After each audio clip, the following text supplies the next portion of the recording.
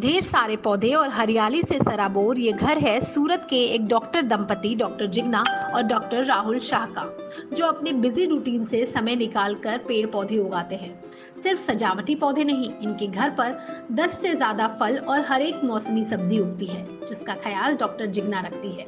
सात साल पहले एक सेमिनार से प्रेरित होकर उन्होंने ही घर पर ऑर्गेनिक सब्ज़ियाँ उगाना शुरू किया था, जबकि उनके पति को सजावटी पौधों और बोनजाई का शौक है, इसीलिए वो वैसे पौधे उगाते हैं। उनके घर पर कैक्टस और अडेनियम की भी कई किस्में लगी हैं।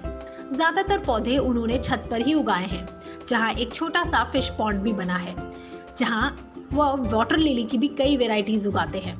उनकी छत पर सरसों के फूल भी खिलते हैं, जिससे गार्डन में प्राकृतिक पॉलिनेशन काफ़ी अच्छा होता है।